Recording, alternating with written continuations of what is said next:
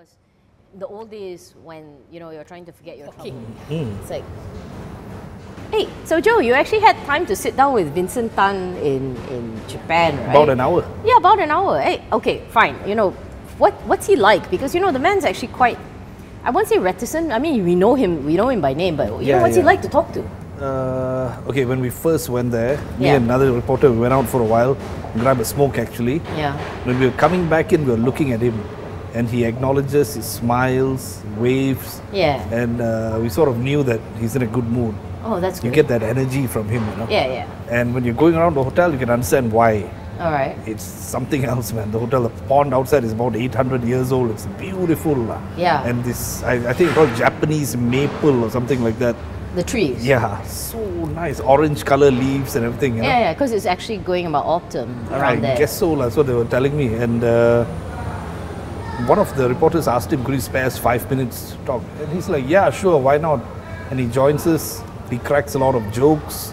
And he sits there for a good, I think the first round was 56 minutes. Yeah. And another 20 odd minutes he sat with us. Oh wow. Yeah, it's That's- not often you get a guy, guys like, you know, at his level talking to you Yeah, so openly, you know. exactly. But you said he was quite happy about the hotel. This is like the Kyoto Four Seasons. Yeah, yeah. It, it it looks like a gorgeous location. It is, it and is. I, I would be smiling too because when I read your story, apparently he bought it for quote unquote a song, three hundred and 80 million US. Yeah, but now it's worth how much more? Your calculations were crazy. Yeah, it's it's like this. Uh, what he told us. Yeah.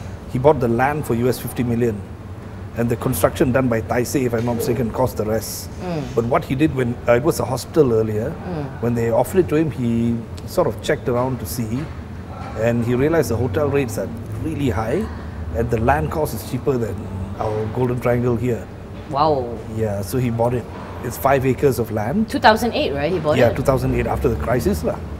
And uh, it took some time to develop because next to it is a shrine or some holy place lah. It's So- it's Kyoto. They're surrounded by shrines Yeah, yeah. everywhere. And so uh, it took some time, but he got he got the the requisite orders lah. And Oh, he built brilliant. it slowly. Yeah. All right. So actually, you went for like the grand opening, is it? yeah.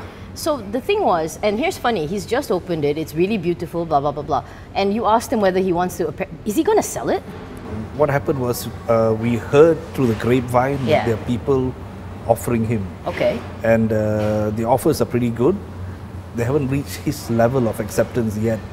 That means, and I, I mean, knowing him, shrewd businessman, it'll be quite a high asking price what he would ask for. Exactly. Yeah.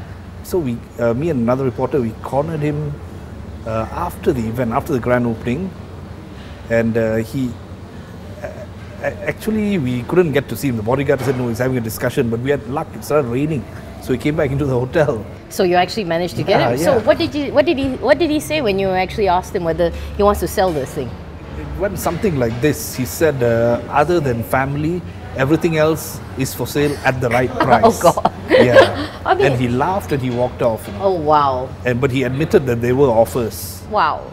Well, I, I suppose because Japan's leading up to their 2020 Olympics, and Yeah, you- I don't know if you know this, but actually in Japan, they're short of hotel rooms. You know, I didn't know that. I didn't yeah, know that. Yeah, actually, they yeah, yeah. actually don't have that many hotel rooms. So of course, if you're sitting on a hotel and you know he bought it for such a great price, I mean, I Yeah, can I can understand why probably there's so many people wanting to buy it. But he's got pieces in like Okinawa as well. Yeah, that was interesting as well. He told us he didn't want to tell us the price he bought it for. Okay. Uh, but he bought it like, like about a year after Kyoto. 2008. He said 2008, but when I checked the annual report, it said 2009. Maybe So around that area to close lah. the deal might have taken about a year. lah. Okay. And uh, in the annual report, it stated that the holding cost is 82.81 million, and he got offered 10 to 12 times what he paid. But he's not developed it down there yet, No, he? not yet. But he's already. Uh, I think he's uh, roped in four seasons already. Wow. So Yeah. this this Kyoto one is like almost like the the showpiece, right? See Yeah, what I can yeah, do. yeah. Tell, tell me about the hotel. I gotta know uh, because I don't think I'll ever stay at US Thousand a night. But tell me about it.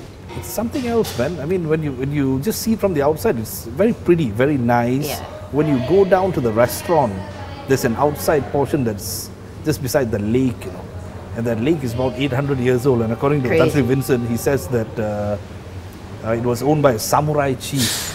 Wow. Yeah, it's got history, you know. I mean, then you look at it, you know, it's 800 years old, man. But It's inside very modern, lah. Yeah, inside is very modern. But you have that, it's so silent, you know.